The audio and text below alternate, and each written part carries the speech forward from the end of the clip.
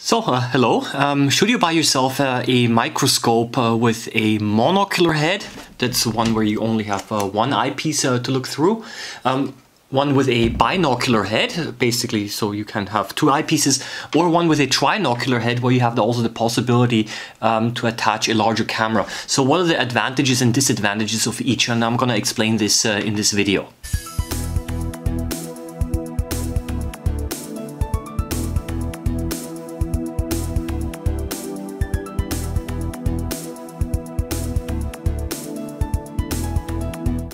Well, uh, first of all, you have to understand that many mid-range microscopes uh, allow you to exchange the head of the microscope.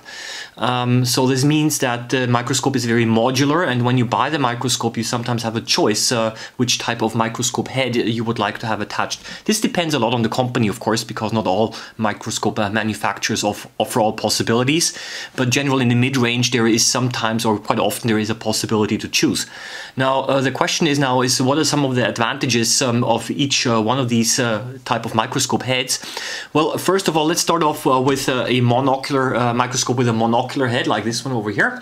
Um, and uh, the advantage um, of these microscopes is, is that they um, have uh, basically a much greater portability.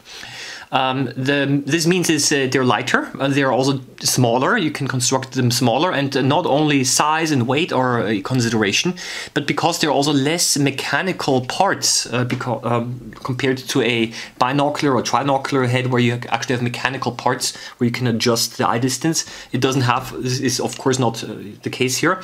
Um, for this reason, there is also the possibility of less damage in case uh, something happens during the transport.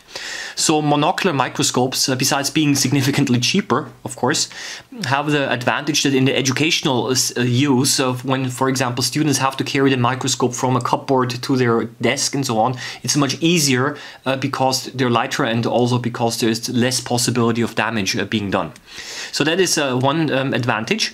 Um, the other um, advantage of uh, monocular microscopes is, is that because the light uh, of the um, objective is not split up into two or three parts, for this reason the image is a little bit brighter than in binocular microscopes. Um, and uh, in, a, in the case of a, a, microscope with a binocular head, it should not be confused with stereo microscopes like this one here, okay? And there is a big difference uh, because in a stereo microscope like this here, there are actually two objectives down here. You cannot see it right now. I have to maybe uh, flip it over to show you. I'm gonna do this. You might actually be able to see that there are two um, objectives uh, in uh, in here.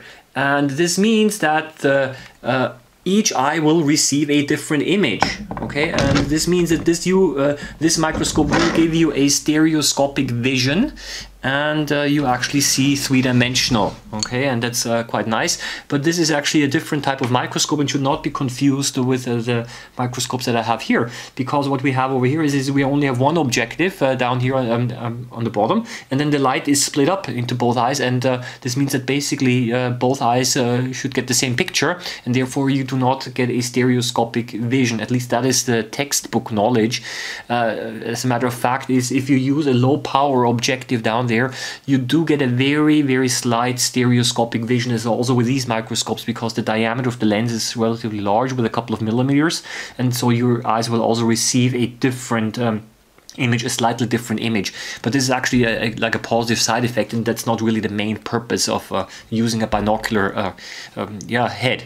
So what is now the main purpose? And the main purpose is simply ease of use or comfort of use uh, and uh, especially if you use the microscope for a very long time for several hours for example it is much more convenient. Um, that is uh, the big advantage. And what you can do of course is you can adjust the distance uh, between the two eyepieces and then one of the eyepieces uh, can also be um, uh, moved in and out by turning uh, the eyepiece. And this allows you to adjust to different eye um, yeah to if you have a different eye vision then you can uh, actually adjust this. But if you use glasses then basically the glasses will compensate that. And you can uh, basically uh, just keep both eyepieces set at the same um, the same way. Um, so that is the question of, of some really comfort of use. And it also gives you a more immersive impression. This means that when you're observing uh, water samples, for example, um, and so on. It's simply more fascinating, I would say, to use both eyes because you get a fuller picture. You simply feel more immersed in, in, in what you see. So it is more of a, a subjective preference. Uh, yeah, but that is basically the main the main point. Now, uh, however, um, with trinocular heads, that is again a different issue because here you have the possibility to attach a, a camera but not only um, any camera, but even relatively heavy cameras.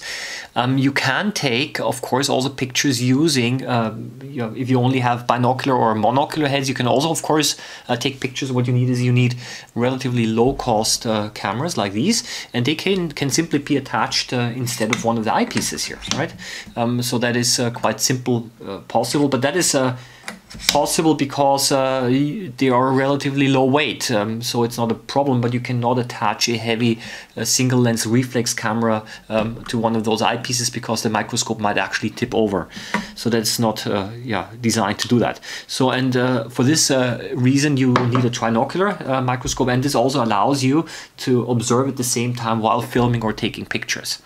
Um, and what you have here is, is you have a little lever that you can yeah move in and out and this base basically allows you to redirect the light only to the eyepieces or also to the phototube um, because uh, if you uh, uh, also use some of the light for the uh, for the camera um, then of course the image brightness is going to be lower as well.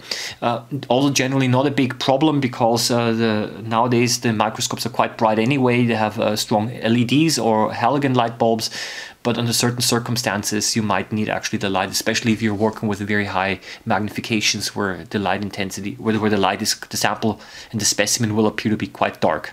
So um, yeah uh, so this was basically um, a short uh, overview over the different microscope heads um, and uh, the question is now um, what buying advice do I give you? And uh, buying advice is the following is uh, if you buy a microscope uh, also take this into consideration of whether your microscope body actually allows you to upgrade. Um, this is generally possible for medium to high range microscopes, but you have to inform yourself whether the company actually um, offers exchangeable microscope heads. Um, and uh, this is usually not the case with very low um, end microscopes. Um, and of course, it is like this the different microscope manufacturers also, the heads are not always compatible, obviously. So, this might be one of the things that you uh, could take into consideration.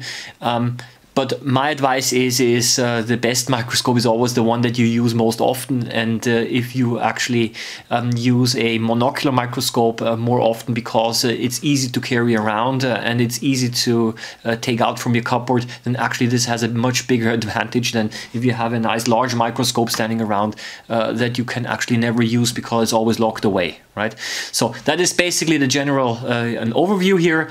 Um, I wish you all the best as always and uh, happy microbe hunting and happy microscopy. Bye bye.